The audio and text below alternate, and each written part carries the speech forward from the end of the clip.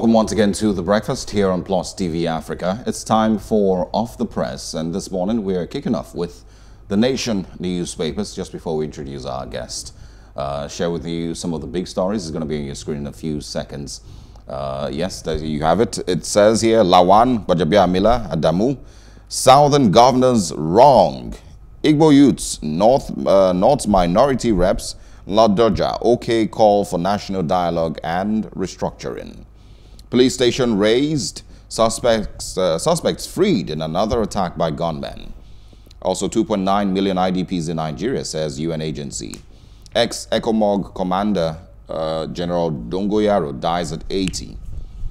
We can also find on the nation this morning, company income tax grew by 97 billion naira in uh, quarter one. And uh, Ohanaeze is saying, don't set Igbos against Yorubas. Sultan tells Buhari and governors to end insecurity. Also on the nation this morning, experts seek more investment in agriculture for food security. Military to vaccinate IDPs and prison inmates. Also four killed by customs men in Oyo. Those are the big ones on the nation newspapers this morning. And uh, on the Guardian newspaper, Knox kudos for Anchor Borrowers scheme in Southwest. Scheme in corruption prone, says oh, Oyo, AFAN chairman. Our biggest challenge in Ondo is herdsman Akimbi declares oh, Oyo getting set to, to access Anchor Borrowers scheme, says Raji. We released 1.8 billion naira to 8,757 beneficiaries in Ogun. CBN insists. Ondo farmers, NIRSAL trade words over fraud allegation. Also in the Guardian newspaper, uh, proposed national carrier gets $250 million lifeline. Lagos community alleges herdsmen invade farmlands, attack cows. Nigerian celebrates Eid Fitri in darkness as outrage persists.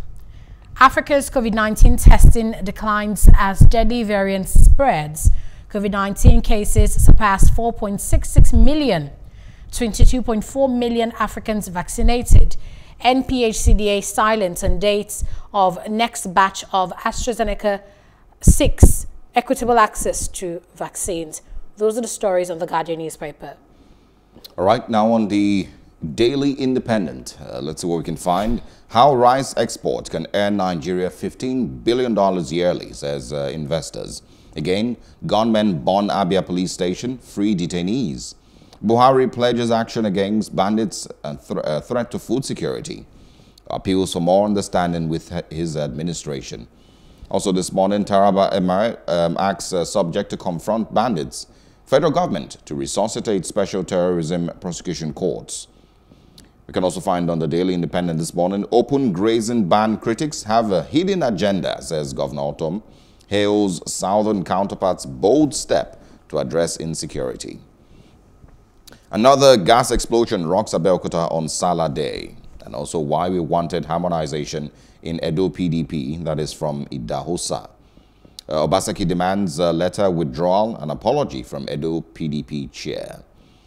Um, well, I think these are the ones that we can share uh, this morning from Daily Independent. All right, on the Punch newspaper, President's plea for understanding. Buhari, ignorance, full of excuses, says PDP, ACF, PANDEF, others. Ordering weapons, training troops in usage takes time, says Buhari.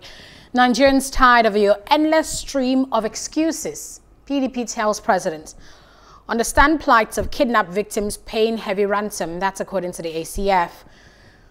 Above the headline on the Punch newspaper, foreign sponsors driving Nigeria's infrastructure project, says World Bank. NLC backs NUPENG, kicks against petrol subsidy removal.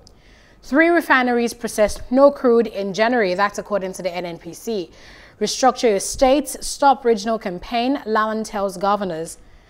Below the headline on the Punch newspaper, protesters, customs men kill five Salah fund seekers in Oyo. Rumored Lagos IPOB planned attack meant to cause division. That's according to Ohanaeze. Buhari, others mourn as ex-chief of defense staff dies at 80. Wife seeks help as Ondo pastors abducts, abductors demand 30 million naira. Screening begins as 21,000 battle for 5,000 Ogun teaching slots. And lastly, on the Punch newspaper, federal government to revive special terrorism prosecution court soon. And that's according to Malami. Uh, good morning, Mr. Jide Johnson, Chief Lecturer, Nigerian Institute of Journalism. Thanks for joining us. It's a pleasure to be with you this morning. All right. So there's so many stories here on, on the on the papers. We've seen from you know the South Southern governors and all the criticism and even praise for the banning of open grazing in Nigeria, to just like uh, criticism of the president Muhammadu Buhari uh, by lots of groups, the PDP, the ACF, the PANDEF, saying the president is just ignorant and full of excuses. Ooh, where would you like to comment? Well, um, if the speaker that is from the southwest is totally against what the governors of the south have done, we can agree with what the Senate president has said, and that's why we have clamored for term limit, which is something that has to do with this. Both the speaker, the speaker had been in the House of Reps since 2003. Lawan had been in the National Assembly since 1999 and they are far away from reality because they they've been feeding on on on public on public office. The, the easiest way for you to escape poverty in Nigeria and in Africa is for you to have access to public uh, public office. 17 governors from the south met and they came up with a resolution. This is the first time they are meeting in recent memory. Regularly, the 19 governors of the north they meet regularly and they come up with resolution. I have never seen Lawal or Gbajabiamila raise any issue to that effect. Now, for the first time, the southern governors in recent memory met and they came up with a lot of issues that is affecting us. And in that resolution, you are seeing um, the Senate president and um, the Speaker of the House of Reps disagreeing with them. What they should have done is to look at what are the issues that they have raised what are the things we can do? And collectively, we find solution to the problem. Instead of them of thinking on how to work with the governors so that there can be solution to the numerous problems we have, they are criticizing, they are criticizing them. And that's the, the reality of, of our country. And I challenge the Senate President and the Speaker of House of Rep for them to take a tour of Nigeria without, even with their security um, details. Let them take a tour of all the states and all the local government in Nigeria, and let us see whether their world view will change or whether their world view will remain the same. They are far away from reality, and that's why they can criticize the governors who happens to be at the state level and who day in day out are receiving security report to that effect. Definitely, there will be people that will give knocks to the governor for them coming together and for some of us, we think it's a step in the right direction. And this meeting should become a recurrent feature because the northern governors, just about two weeks ago, the northern governors went and met the president and they had a meeting with the president. I hope the presidency also will have a meeting with the southern governor. They should make a demand for it. And the speaker and the Senate president should also call for a meeting instead of coming to the pages of newspaper or using the media platforms to criticize them for taking a All step right in the right in the right direction. They move above partisan issue to solve that particular uh, problem. So that's my take. Um, all right. There, there's a, a follow-up to, uh, to, that story uh, that um, it says the Igbo youths, uh, North minority reps and Ladoja, okay, call for national dialogue. Uh, so let, us talk a little bit um, about that. You know, the conversation about um, a national dialogue once again. We've had one in the past. Um, because we run away from reality and we are playing the ostrich. And that's the reality of our political system. Unfortunately, the present government at the national level and that controls most of the state, while they were in a position, they were clamoring for restructuring. They were calling for changes in the system.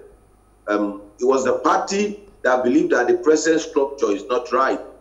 And unfortunately for us, that party got to power and that party has been playing lip service to restructuring. Let me give you an example. It's the issue of local government.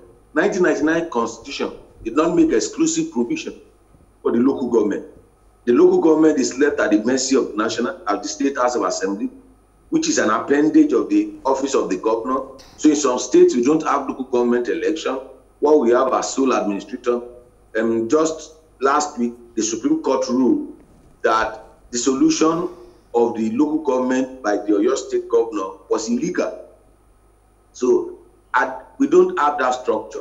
In Lagos State, I recall the Lagos was in the forefront of fighting PDP, particularly Obasanjo administration, when Tinubu created the 37 LCDs and 20 local government. I hope and I thought that with APC in power, those 37 ACEs will have been listed in the fifth schedule of the 1999 Constitution. The 1999 Constitution is an aberration. It's, it's a product of 1995 Constituent Assembly, which brought about, which was meant to perpetuate Abacha in power, which concentrated too much power in the presidency. In the present structure, the presidency is so powerful.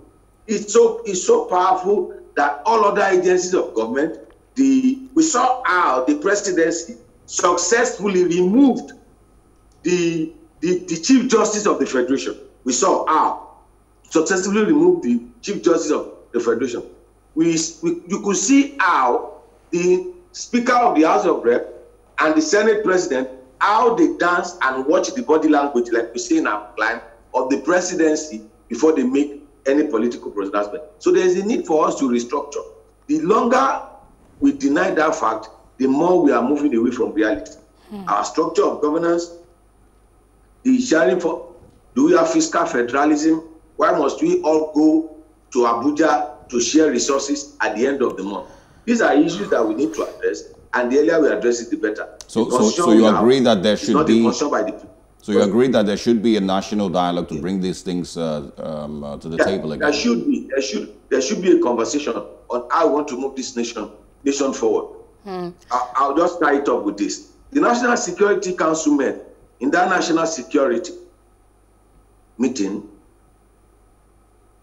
99% of those that attended the meeting were from the north. Only one person was from the south. And you call that national security meeting to discuss issue affecting the southwest. Even the issue of federal character is not is there in the constitution. It's not being addressed. Look at the composition of the national security of Nigeria. Is it the Arewa security of Nigeria? So these are issues that we need to address. We can't continue to go in this in this manner. There's a saying in my local dialect: you don't shave a man's head in his absence. You don't shave a man's head in his absence. And what we are having is that we have we have a, a, a structure of governance that is not diverse enough, that is not inclusive enough, that is not engaging enough. And so that that that's that's the challenge. And that's what I call the die principle. Until you apply the die principle in whatever you want to do, you cannot succeed from commercial point of view and even from public policy point of view, whether you are commercial or non-commercial, profit or not for profit, private or public enterprise, because you must be diverse, you must be inclusive, and then you must engage for you to succeed. Hmm. Really, and there's, there's so much, you know, other stories here that we've seen on the papers from the 70,000 refugees the United Nations agency says in Nigeria uh, to 2.9 million IDPs in the country to a DSS report. I've been seeing, you know, DSS reports these days from, you know, the beginning of May this year, especially, you know, alerting Nigerians and other security agencies to a potential threat to our security. And uh, there's one that says uh, the Ohanaeze, or rather that IPOB plans to attack Lagos State. But Ohanaeze Ndigbo here is responding to that, saying this, this is just meant to cause division. Uh, what do you think about these stories?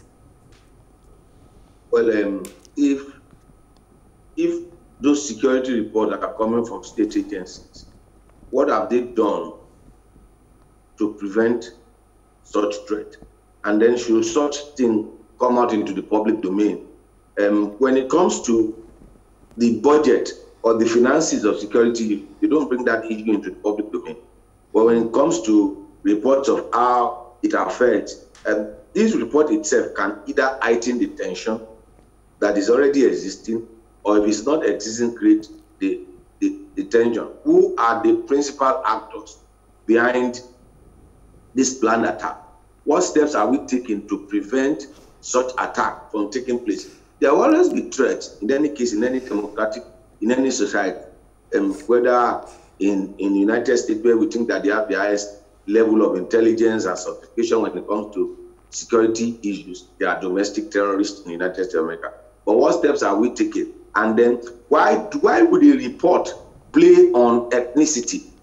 Hmm. That okay, um, the Igbos are planning to. I have asked.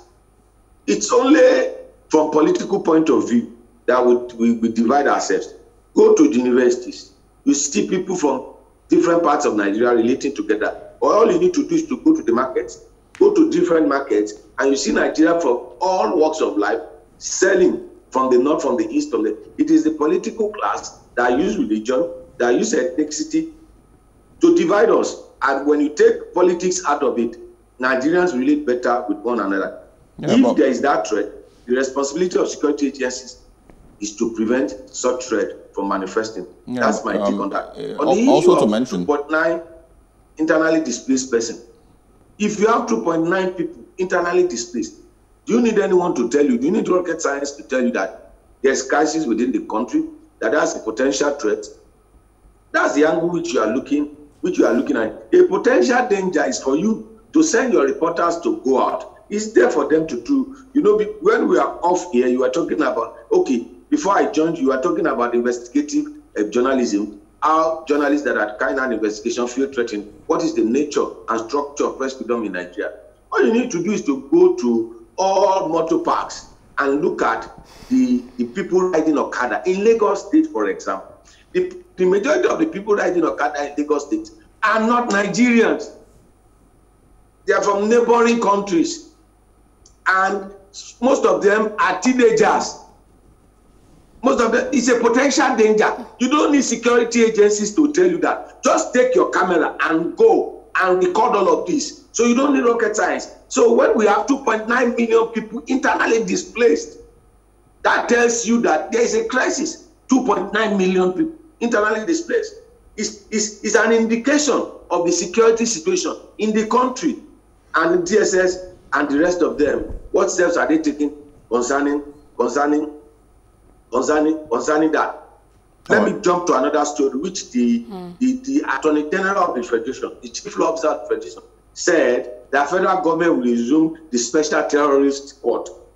Oh, is now it's just coming to that reality. Is now the Attorney General is just coming to the reality that federal government needs to. You know, last week we said, what is the difference between banditry and terrorism? Just playing on words. A terrorist is a those that are engaged in banditry, they are domestic terrorists. They should be classified as such.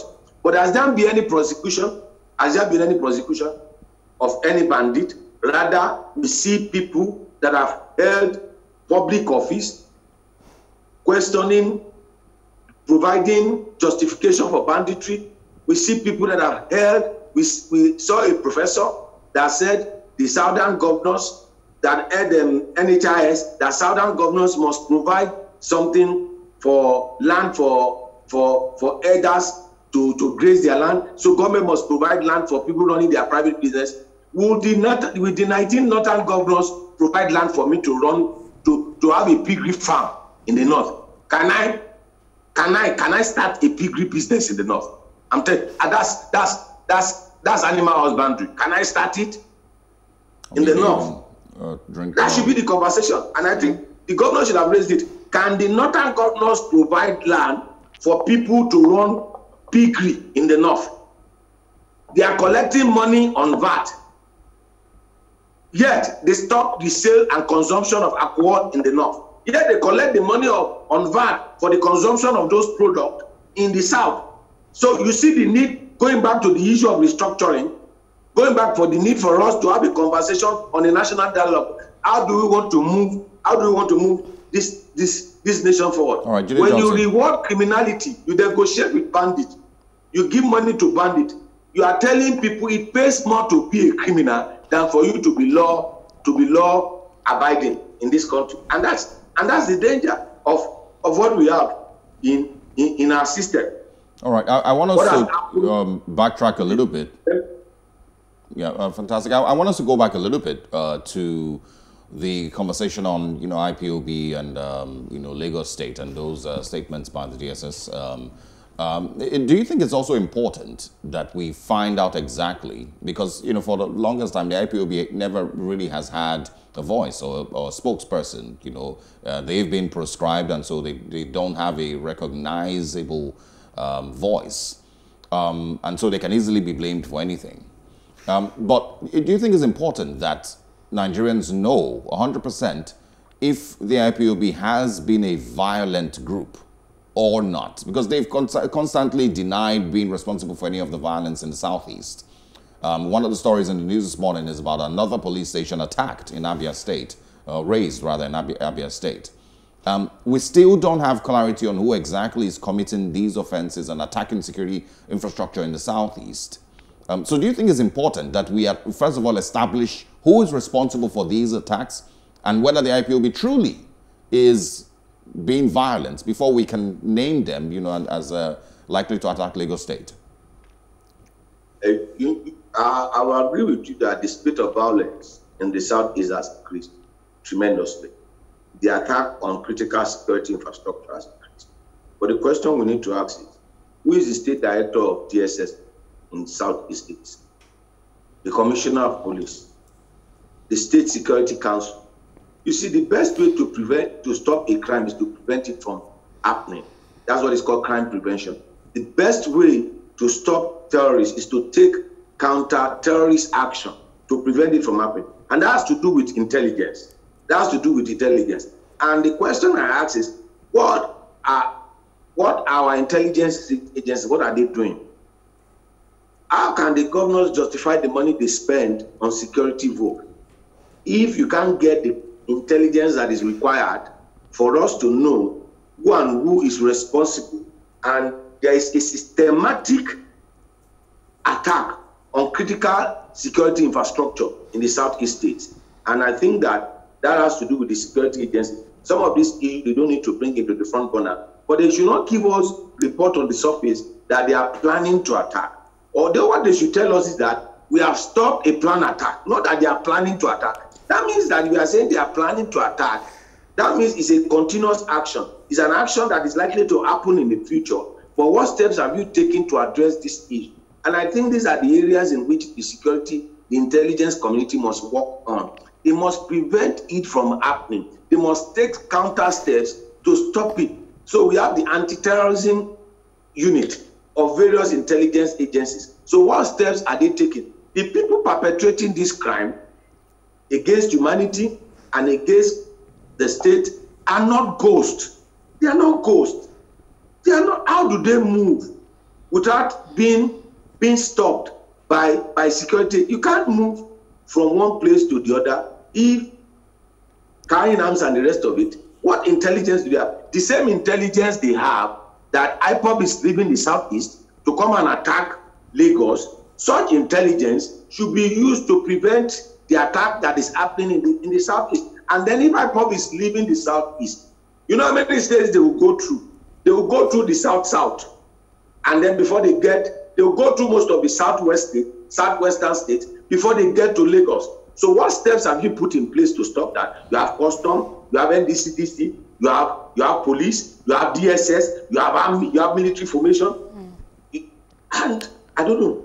I, I just I just can't I just can't understand that, that claim. If it is there, there's an existential threat to national security, to national infrastructure, to lives and property. Those agencies should take steps to prevent it. That's their responsibility. That's why they hired. All right. Hmm. So many other stories, really, but I, I, don't know if we have time to talk about an NNPC report here that the three refineries in the country produced absolutely no crude oil in the year, in, in January this year. Well, um, I think the Atiku plan is what we should adopt. What's the Atiku plan? You know, when he was campaigning, he said he was going to privatize NNPC and the rest of it. And the question you asked is, do you have evidence to support that? You saw what the regulation of the broadcast sector, what it has done to the broadcast sector in Nigeria. Before all of us tends to rely on NTA and the state television. And you saw what it did. We saw what the deregulation of the telecom sector, we saw what it did. The deregulation of the telecom sector, what it brought about competition and improvement in what is happening at that, at that sector. I think that government needs to have a concession and that that aspect should be run by private enterprise and government should just collect taxes from those enterprises. The money we have, the money that was budgeted for um, turnaround, maintenance, and innovation of the Port Harcourt refinery was said that is enough to establish five refineries by some people. And what steps are we taking? If they are producing zero, what does not work? I will end with this illustration, which was given by Professor Jesus when he was talking about an agreement. He said a man planted planted a tree, and the tree, a vine tree, the vine was not yielding vine. He said, okay, water it. Water it. He said, they should cut it. He said, no, water it, dig ground around it, watch it for another year, then look at it. If it does not produce result, then cut it off. There's a need for us to cut off NNPC and take this burden away from us. There's a need for us to invest in agriculture. There's a particular story that said export of rice, we hand Nigerian 15 billion dollars. 15 billion dollars will come from if we export rice. What steps are we taking to, to, to that effect? The money we have spent on refinery that is not working, let private investors operate in that, and let's invest in agriculture, and then we make money from Nigeria. Okay. And we take Nigeria from being a monoproduct economy to a multi-product economy. And then that's the diversification which we are looking at, and we don't rely on oil. When the price of oil drops, then we have problems with the economy. All right, but when we invest in other sector, I think we become energy dependent and we'll be less dependent on, on oil as the source of income for Nigeria. And All we right. don't have to print money like the central bank did, uh, as, as, as, as alleged by the governor of Edo State. All you, you need to much. do, government worldwide, United States of America is printing money. So when they are deceiving us that they do print money, all you need to do is to look at price index of commodity product and to look at the inflationary. Yesterday, I bought a oil to service my generator. The oil, you know how much I bought it the last time? I bought it 1,500. You know how much I bought it yesterday? We bought it 2,500. 2,300. And I was sharing my experience with my friend. He said, no, he bought his own 2,500. What was sold 1,500 has increased to 2,500. There's you want you want to know that your currency is valueless. Ten naira cannot buy you anything. Mr. Jide Johnson, I'm I'm I'm sure the the rest of Nigerians, almost the 200 million of us, do share your pain. You know, thank you very much, Mr. Jide Johnson, for your time on the breakfast. It's a pleasure to be with you. It's a pleasure. Oh my, I really was saying that yesterday. I, I went to do some, shopping yesterday and I came back telling my friend, would you believe how much I bought this? And she said, I remember when we used to buy this particular item for 20 naira and now it's it's just sadly when things go up in Nigeria they, they never come down you know it just you know continues to you know to rise um, and uh, millions and millions of Nigerians would have to, of course, continue to adjust. Are you, are you, you know, saying Nigeria's problems defy the law of gravity? Yes, they don't, they, they don't do, down? Absolutely. Good morning. Stay with us. We have uh, Today in History coming next. I'm going back to 2013 to share with you what happened on this day, um, uh, 14th of May. Yes, still 2013 as well. Do stay with us.